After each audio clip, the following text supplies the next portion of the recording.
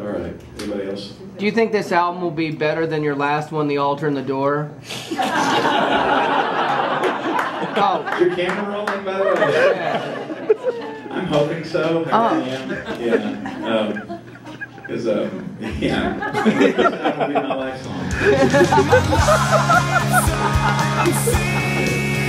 will be my song.